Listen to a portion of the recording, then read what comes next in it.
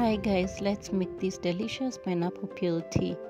You will need the peels of a pineapple plus the core, some cinnamon sticks, star anise, and whole cloves. If you have some ginger, you can add it as well. Then you add in your water, cover and let it simmer for about 30 to 45 minutes. Once it has simmered, you remove the pineapple peels as well as the core and discard. This helps with straining the rest of the tea into your serving jug, ready to be enjoyed. It can be enjoyed hot or even cold by letting it cool or store it in the fridge. And also, you can sweeten it with some honey if you desire.